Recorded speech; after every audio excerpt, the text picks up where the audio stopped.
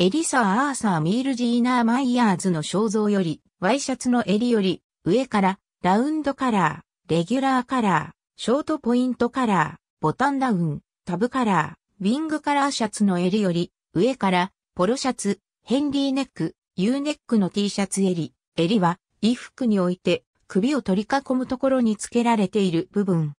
英語のカラーに相当するが、本来、カラーは衣服の見頃との接合とは関係なく、頸部につける円筒状のものの総称を言う。エマツトムによると襟とは、衣服の端を指す語であるという。また、襟の漢字には、襟や襟がある。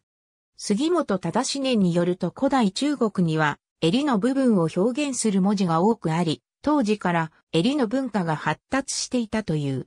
一方、英語のカラーは本来は材質や衣服の見頃との接合と関係なく、頸部につける円筒状のものの総称を言う。カラーは古代エジプトでは最も発達した装身具であった。カラーには衣服の見頃と接合しておらず、スカーフカラーのように独立して着想することが可能なものもあるが、襟の分類から除外されることがある。なお、首に巻くものは付け襟とも呼ばれている。襟は諸地域の衣服で自然発生したと考えられているが、西洋の副装史では14世紀後半のプールポワンの祭壇図には襟が含まれており、立体祭壇の発達とともに複雑化、洗練化された。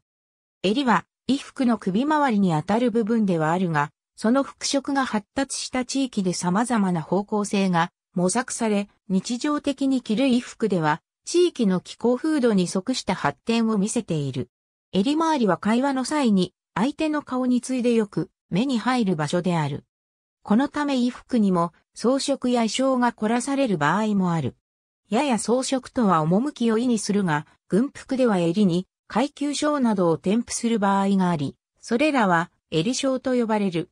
その一方で、議員記章など、社会的役職を示すバッジを飾る場合もある。襟は頸部に沿って立つ立ち襟、折り返されている折り襟、前に開いたラペルを構成要素に含む開き襟に分類される。